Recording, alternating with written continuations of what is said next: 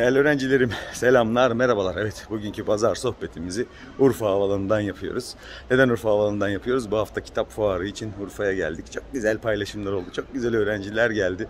Yüzlerce öğrenci geldi. Gerçekten ben bu kadar Urfa'dan bizi dinleyen öğrencinin ne olduğunu gözümle görsem inanmazdım. Birçoğunun da haberi yoktu biliyorum ama gerçekten çok güzeldi. Haftaya da İstanbul TÜYAP Kitap Fuarı'nda olacağız.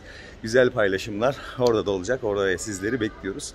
Evet Pazar sohbetini bu hafta kısa keseceğiz. Yarın diziler başlıyor. Ayeti matematiği bırakmadan devam ediyoruz değil mi? Canavar gibi, canavar gibi götüreceğiz. Çalışmalarımıza devam edelim. Hayalimizin peşinden koşmaya devam edelim. Bizler de böyle küçük küçük geziler yaparak sizlerle tanışacağız artık. Sizlerle eee, sohbetlerimizi yapacağız. Küçük yönlendirmelerimizi yapacağız. Çalışmalara devam. Yarın diziler, diziler, diziler, diziler geliyor. Var bir hayalimiz diyoruz. O hayalin peşinden koşmaya devam. Bye bye.